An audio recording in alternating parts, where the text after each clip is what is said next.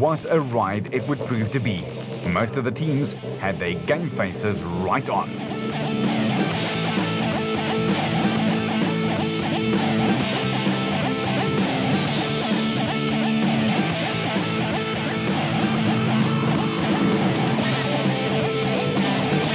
Out on the demanding and rather tricky 40k route, the 2005 SA champ Alfie Cox and his partner Henny Terstege got off to a flyer in their motorbike back. For Cox, though, his first racing experience in a special vehicle would turn out to be a short one. At the start, drivers faced a 40-kilometre lap on a day that was already hot. Nissan's other former champ Duncan Vos and his co-driver Ralph Pitchford had also moved up to the SP class, and their Navara was sounding mean.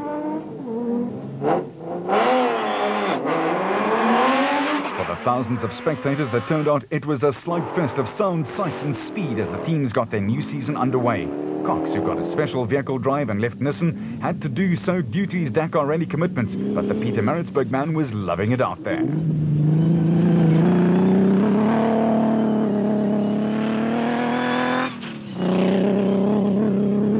As for Brandon Harkis and his motorized bat, it was skin of the teeth stuff. The car was only released from customs in Durban 16 hours before. Marcus drove from KwaZulu-Natal to the Cape and got to the start with just seconds to spare.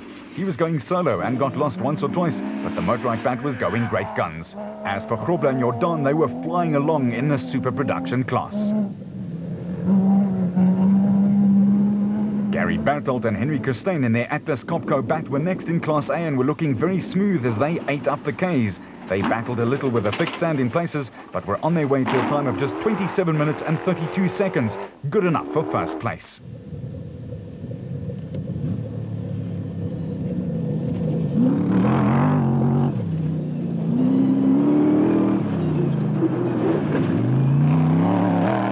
Hutchison and his co-driver Achim Bergman in the motorized bat were taking no prisoners, but they were finding the car, in their words, a handful. It certainly didn't look like it. They clocked 27.32 for the route, and that left them atop the prologue leaderboard tied with Bertolt and Kirstein. And that's not an occurrence that one would see very often in off-road racing.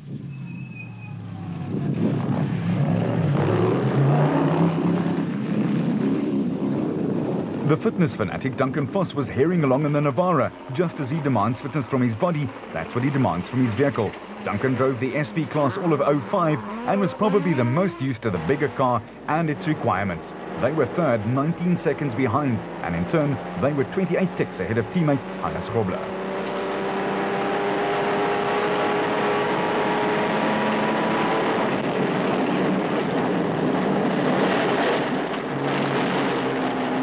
Everyone was waiting with bated breath to see how the Fords would do, and Neil Woolridge and Kenny Schulthammer didn't let them down. They were a creditable fifth, 1 minute and 40 seconds off the pace of the special vehicles, and they were third in class.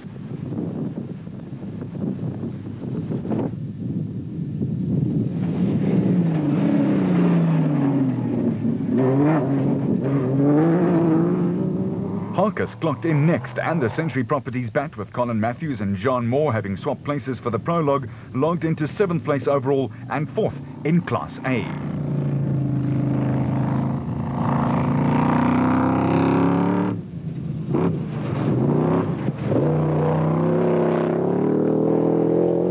The defending Class A champions Terence Marsh and Michael Whitehouse in their Nashua Mobile Racing Bat Spec 1 took 8th spot and proved that they would again be a force to be reckoned with in the year 2006. Marcus Deschelaine and Marcus Taylor won the Class B prologue battle with a JRE 2-litre going like the proverbial Boeing and clinched a top 10 spot. They clocked 31 minutes and 28 seconds. And the top 10 was rounded out by Richard Schilling and Chris Davies in the Plastotech Aceco, and that also confirmed what pundits said about the 06 season, that the special vehicles would dominate. The prologue confirmed it. Seven cars out of the top 10 were special vehicles. Archie Rutherford and Craig Doubtfire made it one more for the specials when they took 11th, while Class D champion Manfred Schroeder, with Ward Huxtable in the co-driver seat of the Team Ford Ranger 2.5, nabbed one back for the production cars when they took 12th. They were four minutes behind in the diesel car.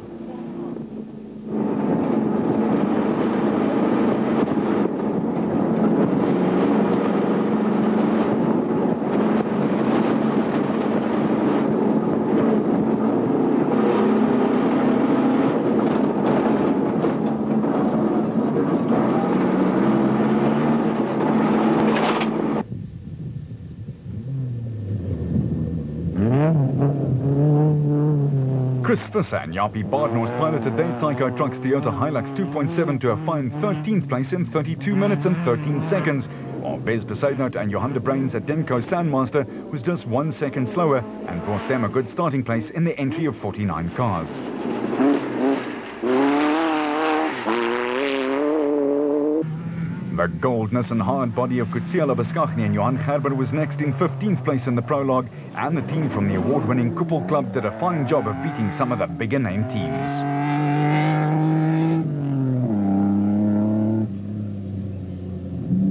The big and burly Giel Nel and Johan Smallberger and their Bosel Truggy Zarko let it all hang out on the second lap. Nel was complimentary about his new navigator who he said was faultless.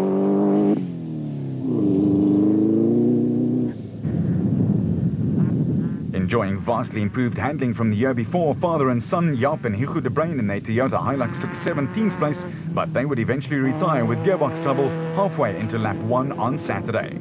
Ford's latest signing, 2005 Special Vehicle Champion Shameer Variawa and VZ Van Sale were in the second total Ford Ranger, but they were slightly disappointed with their performance as they were 4 minutes and 40 seconds back in the SP class, a big gap to say the least.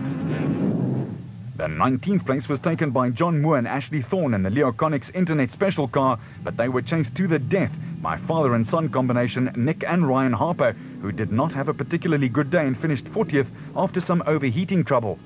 And who did they want to know? Put that silly bump right there. It almost cost them dearly. Go! As for Bevan Bartelt and Robin Houghton in the Castrol Toyota Hilux in the SP class, they were running a Class D car in this category and performed admirably. It was Bartelt's first time under the cosh with the car, and he was still getting used to it. At the top, though, it was another Bertelt, Gary, and his navigator Henry Kirstein, who held sway with Evan Hutchison and Achim Bachmann, who clocked identical times. Vos and Pitchford were 19 seconds in arrears. The Nissan Dealer 400 from Darling continues right after the break.